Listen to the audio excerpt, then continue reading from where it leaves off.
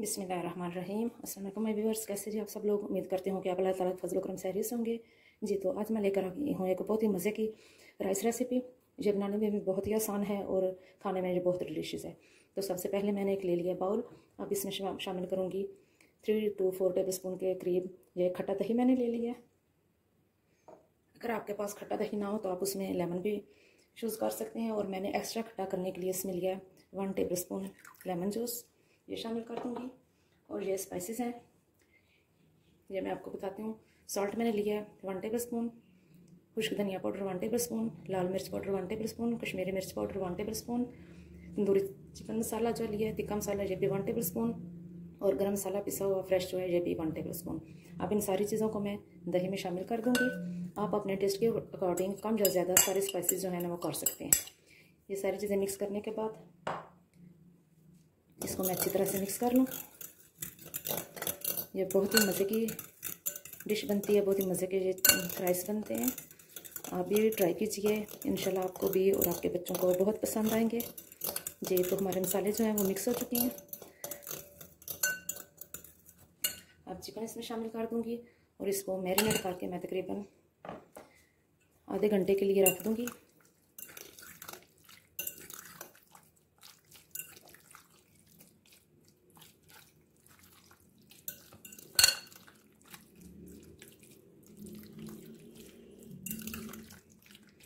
आज जुमा है, फ्राइडे है आज तो आज मैंने सोचा चलें, ये रेसिपी जो है, ये ट्राई करते हैं।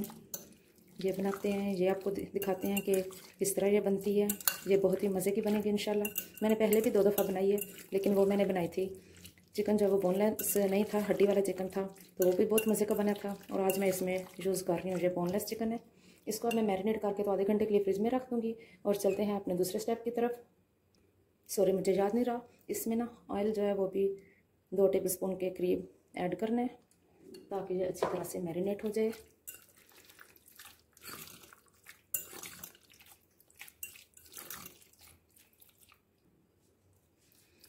यहाँ पे मैं शामिल कर रही हूँ अदरक लहसुन पेस्ट जो है वन टेबल स्पून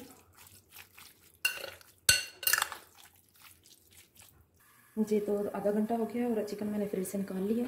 अब ये पैन मैंने यहाँ पे ले लिया और इसमें मैं शामिल कर रही हूँ दो से तीन खाने के चम्मच ऑयल ये जब गर्म हो जाएगा तो फिर हम इसमें चिकन शामिल करके तो फ्राई कर लेंगे।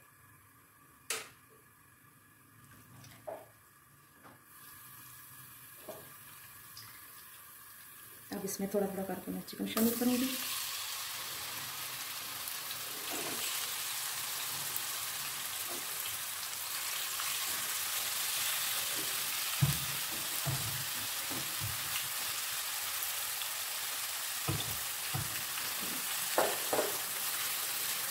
फ्लेम जो है वो हमने रखनी है मीडियम टू हाई और इसको अच्छी तरह से कुक कर लेना है। पाँच मिनट हम इसी तरह इसको कुक करेंगे और उसके बाद कवर करके तो फिर इसको हमने अच्छी तरह से पका लेना है। जी तो चिकन को मैंने पाँच मिनट के लिए फ्राई कर लिया हाई फ्लेम पे, अब मैं आँच जो है वो स्लो कर दूँगी। मीडियम टू लो पे इसको मैंने आठ से दस मिनट के लिए कवर करके तो रख देना ताकि ये अच्छी तरह से कुक हो जाए। चिकन ने अभी आप अपना पानी छोड़ना है तो उसी में ये कुक हो जाएगा। एक्स्ट्रा से पानी डालने की ज़रूरत नहीं है। तो अपना जो है स्लो कर हैं और इसको कवर कर देते हैं। आठ से दस मिनट के लिए लिए रख जी तो चिकन जो है, तकरीबन दस मिनट के बाद बिल्कुल रेडी हो चुका है।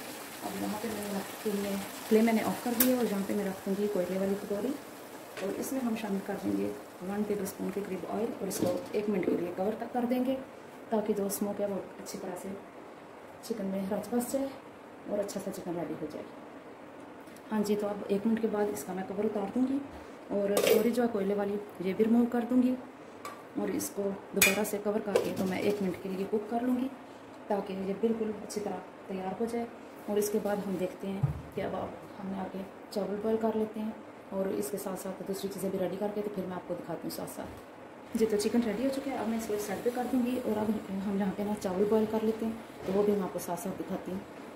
जी तो यहाँ पे मैंने एक रेस्टा ले लिया उसमें मैंने मैंने डाली है three two four tablespoon oil और वन टेबल स्पून इसमें जाएगा जी जिंजर गार्लिक दोनों को मैंने वन वन टेबल स्पून ले लिया और इनको बस स्लाइडली हमने ब्राउन करना है ज़्यादा नहीं करेंगे लाइट बनाना बिल्कुल इसका कलर थोड़ा सा हल्का सा चेंज करना है ठीक है जहाँ पे मैंने इसमें शामिल करना है। आप आधा कप के करीब पानी और इसको बस ऐसे थोड़ा सा फ्राई करेंगे। जी तो अब जहाँ पे मैं चिकन क्यूब्स यूज़ कर रही हूँ। इनको हम हल्का सा मिक्स कर हैं हाथों से पहले मैंने इनको नहीं रखा इसलिए जल्दी मिक्स हो जाएँगे। ओके अब इनको हमें अच्छी तरह से और अब जहाँ पे मैंने वन टेबल स्पून के करीब काली मिर्च फ्रेश जो है कुकिंग वो शामिल कर दीजिए आप यहाँ पे वाइट पेपर भी यूज़ कर सकते हैं जो आपके पास अवेलेबल हो वो आप इस्तेमाल कर सकते हैं बस जी तो अब मैं वहाँ पे चावल इसमें शामिल कर दूँगी जो कि मैंने तकरीबन आधा घंटा पहले भी कर रख दिए थे और इनको एक से दो मिनट के लिए फ्राई कर लूँगी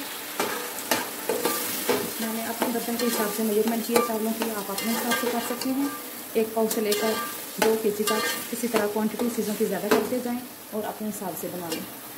मैंने जो बर्तन यूज़ किया था चावल की कमाइश के लिए तो मैं इसी हिसाब से इसमें पानी भी ऐड करूँगी।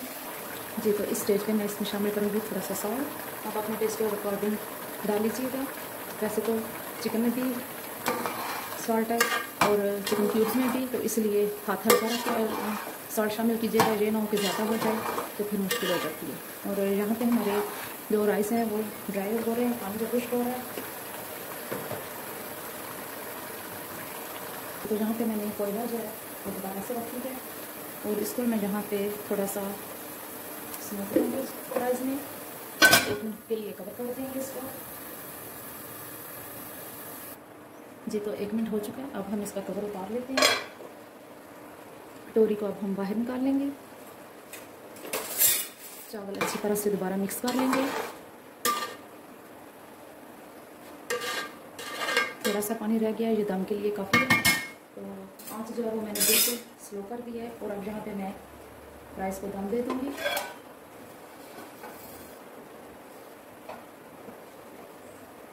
जी तो इसको कवर कर देना सॉरी मैंने बिल्कुल आँच जो है वो स्लो कर दिया और दस मिनट के लिए मैं इसको चावलों को जो है वो दम दे दूँगी मिलती हूँ। चावल तैयार होने के बाद। जी तो यहाँ पे मैंने कढ़ाई ले ली है। इसमें मैंने ऑयल डाल दिया three to four tablespoon और इसमें अब हमने जो सब्ज़ियाँ कट करके रखी हुई थी, वो फ्राई करनी है। पहले मैंने सब्ज़ियाँ ये थोड़ी सी कट की थी, तकरीबन क्वार्टर कप के करीब ये सारी सब्ज़ियाँ और स्वीट कॉर्न है तो फिर मेरे अचानक से मेहमान आ गए। तो खैर, कोई बात नहीं। मैंने काफ़ी सारी चीज़ें पहले मैंने फ्रीज़ करके रखी होती हैं तो उन्हीं में से मैंने फ्रीज़ हुई तो नहीं, लेकिन जो अभी आप सब्ज़ी लेकर आए थे हस्बैंड उनमें से काफ़ी चीज़ें मैंने साइड के तौर पर भी काटी हुई थी। अब मैं दोबारा से सारी चीज़ें जो काट के तो क्वांटिटी जो है ज़्यादा कर लूँगी। चलें जी, आप सब्ज़ियाँ फ्राई करते हैं और आँख में रखिए यहाँ पे। फ्राई फिर हमने सब्जियों को हाई फ्लेम पे ही फ्राई करना है। आँच हल्की नहीं करनी, अगर इस तरह फ्लेम हम स्लो कर देंगे तो सब्ज़ियाँ जो है वो सॉफ्ट हो जाएँगी हरे। और हमें जो सब्ज़ियाँ हैं, ये थोड़ी क्रंची रखनी है, फिर इनका फ्लेवर जो है वो अच्छा लगेगा। एक से दो मिनट के लिए बस इनको फ्राई करना है।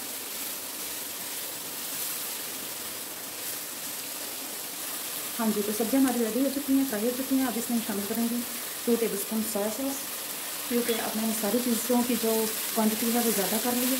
तो इसलिए मुझे अब स्पाइसेस जो हैं वो भी ज़्यादा करनी पड़ेंगी। चिकन जो मैंने फ्राई कर रखा था वो ऑलरेडी मैंने स्पाइसी तो इसमें ज़्यादा रखे हैं क्योंकि मुझे उसी तरह का पसंद है। और यहाँ पे two tablespoon chilli sauce और डेढ़ tablespoon chicken powder Chinese flavour Chinese flavour के लिए थोड़ा सा टच देने के लिए इसमें मैंने ये शामिल किया।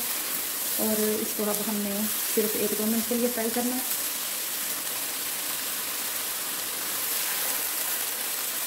और लास्ट में मैं शामिल करूँगी वन टेबल स्पून शुगर ताकि हमारी सब्जियों का जो कलर है ये बरकरार रहे, ख़राब ना हो। और आप सब्ज़ियाँ जो अपने मर्ज़ी के हिसाब से कोई भी जूस कर सकते हैं, हरा प्याज भी आप जहाँ पे यूज़ कर सकते हैं, और शिमला मिर्च येलो वाली रेड वाली, वो भी यूज़ कर सकते हैं, और कॉर्न जो है, ये आप अपने टेस्ट के हिसाब से कम से ज़्यादा कर सकते हैं। और मैंने जहाँ पे कम ही रखे हैं, जी तो सब्ज़ियाँ हमारी बन हो चुकी हैं। आज जो है मैंने तेज़ भी रखी है, इसलिए चूल्हा मैं बंद करने लगी हूँ, और चावलों को भी दाना हो चुका है तो फिर आपको एक स्टेप हो जाता है, वो करके तो फिर प्लेटर जो है वो रेडी करके मैं आपसे मिलती हूँ।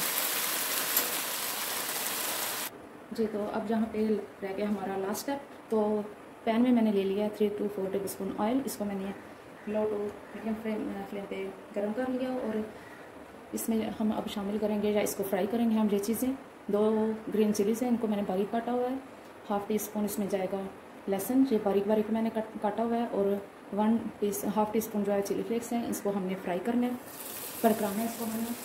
ये हम शामिल करेंगे जब हम सारी चीज़ें तैयार कर लेंगे तो गार्निश के लिए हमने रेडी करना अगर आपके पास रेड वाली मिर्च है तो वो भी आप यूज़ कर सकते हैं। मेरे पास नहीं थी तो मैंने ये चिली पेस्ट यूज़ कर ली है। इससे फ्लेवर में कोई फ़र्क नहीं पड़ता।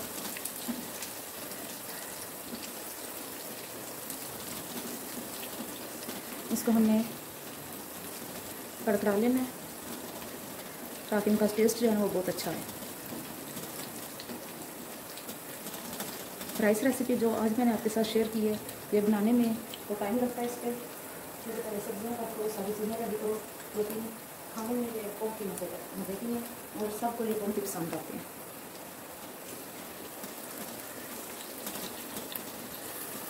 जी तो ये हमारे जो इंग्रेडिएंट्स थे, तीन ये रेडी हो चुके हैं, इनको अब मैं एक साइड पे कर लूँगी और अब चलते हैं नेक्स्ट स्टेप की तरफ़, जिसमें हमने अपना प्लेटर रेडी करना है तो वो मैं आपके साथ शेयर करती हूँ। फ्लेम को मैंने ऑफ़ कर जी तो अब हमारा नेक्स्ट स्टेप है लेयरिंग का। तो सबसे पहले हम, ये मैंने डिश ले ली है, एक ग्लास डिश है, इसमें हम फ़र्स्ट लेयर जो है वो राइस की लगाएँगे, इस तरीके से।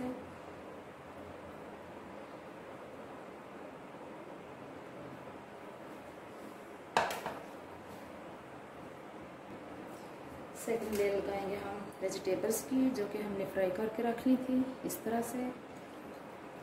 सारी सारी लेयर जो है वो मैं थिक थिक लगाऊँगी, ताकि सब्जियों का जो टेस्ट है वो भी अच्छा सा आए चिकन का भी और राइस का भी। नेक्स्ट लेयर जो है ये स्मोकी चिकन की है। जी तो यहाँ पे मेरे फ़ोन की जो स्टोरेज है वो फुल हो गई थी तो अब यहाँ पे मैंने अपने हस्बैंड का फ़ोन लिया है। शायद आपको कलर कुछ चेंज नज़र आए। और ये मैंने सॉस लिया है हाफ़ कप मैंने म्योनीज लिया है और इसमें three tablespoon hot chilli sauce add करके तो ये एक सॉस बना ली है बहुत ही मज़े की है ये भी आप इसे बना के तो फ्रिज में रख सकते हैं। और मैं जहाँ पे इसकी टॉपिंग जो है ना, मुझे कुछ ज़्यादा ही करूँगी क्योंकि मुझे ये बहुत पसंद है, इसलिए मैं इसे ज़्यादा ही कवर करूँगी।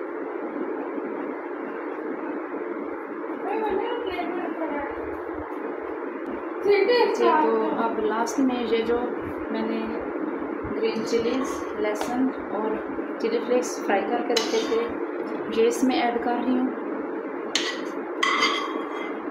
पंखा ऊपर चल रहा है, गर्मी बहुत ज़्यादा लग रही थी तो मैंने पंखा ऑन कर लिया, शायद आपको आवाज़ डिस्टर्ब करे। और यहाँ पे कुछ थोड़ा सा सब्ज़ धनिया जो है, ये छिड़क दूँगी, ताकि इसकी लुक जो है वो बहुत अच्छी है जी तो हमारा प्लेटर रेडी हो चुका है राइस प्लेटर अगर आपको ये मेरी आज की रेसिपी पसंद आई हो तो प्लीज़ लाइक और शेयर करना मत भूलिए। कमेंट्स बॉक्स में बताइएगा कि आपको मेरी आज की रेसिपी कैसी लगी। अपनी दुआ में याद रखिएगा। ओके जी अल्लाह हाफिज़।